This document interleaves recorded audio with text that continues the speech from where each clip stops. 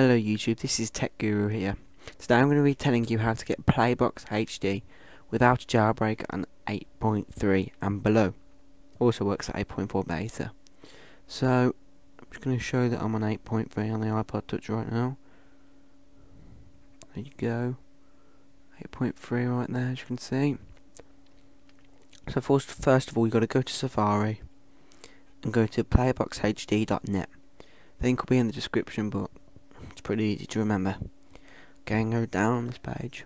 There's some of the features. Sports Chromecast, sports subtitle with all languages. Anyway, to get the app, what you got to do is download. Tap the download button. Don't click. Just click install. Don't get rid of that page because you need some the login details on there. Okay, so once you've clicked install, go to the home screen and wait for it to install. It should go straight through if you do get the problem with when it opens and it just closes straight away, there's no actual fix for that yet, it's just a bit glitchy, so if that happens, um, I'll try and update you when there's an update that will fix it, or there's another method that will be able to get you. But Movie-Box is also a good alternative to this, as they are basically the same thing. So, you don't really both, but it might flick away and go back and then open it. And then it should they get now. Do not, I repeat, do not type in your Apple ID in here. Has to be the one that's supplied on the website. So you can click cancel. Oh, Go here, and it goes a bit glitchy, so you can't actually copy just the username. So you have to copy username as well. So what I'd do, what I'd recommend you do is just copy that. Remember the password. Now these passwords are updated there as it said there, so make sure you check this website when you download it as of the second of the second of June. This is what it is now, but it might be Playbox HD for whatever it might be. So you got to go into Playbox. Might glitch a little. Alright, paste in that there and get rid of the username. So it's play box H D in capitals and two and click OK. No. Oh, let me try this one again. Oh, it's because of space after that.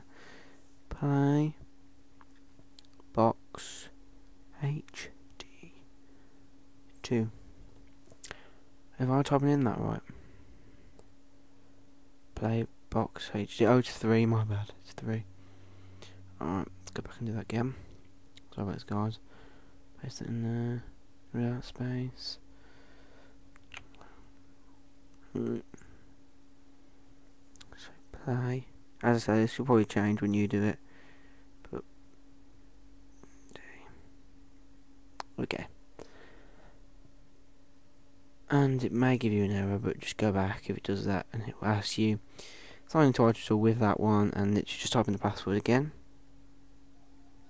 Box HD three and they should let you straight in make close again so you open it. But once that's done click OK to that. And then you have the app right there. I mean San Andreas there look that's a new film now?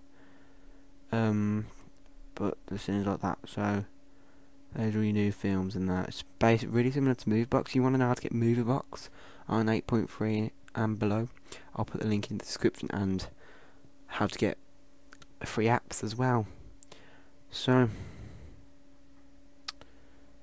um, that's that. There's 45 updates. Let's see, there's just... Anyway, thank you everyone for watching, and